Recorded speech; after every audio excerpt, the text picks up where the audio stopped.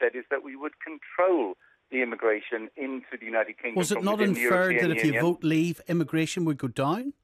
Well, we said we would control it, and that is the most important point. Control it I by think- bringing it down, Nigel. No, but no, there, there are two differences here, and this is where there is some misunderstanding. Dominic and I both stood on a manifesto just over a year ago that we would bring immigration in the United Kingdom down to the tens of thousands. That's what the Prime Minister said time and time again. Then all of a sudden, uh, during the um, uh, referendum campaign, the Prime Minister informed us all that it was an aspiration, not a promise. Straight question, straight answer, Nigel. Will immigration fall significantly when the UK leaves the EU?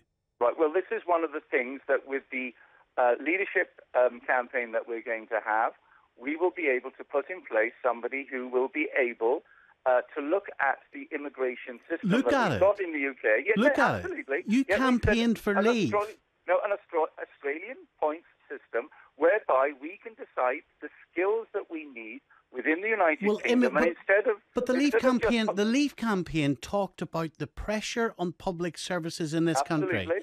and, and Absolutely. and there was an inference, was there not, that immigration would fall if people voted Leave? Can you tell people tonight No, a- a- that immigration will fall significantly now that the UK is leaving the European Union? No, what I no, what I can absolutely say to them is that uh, under the new Australian points system that we will get in place, we will be able to control the amount of immigration. But you could control it it is be- upwards if you chose to, Nigel. the Remain side pointed out to us that Australia's immigration figure had actually increased.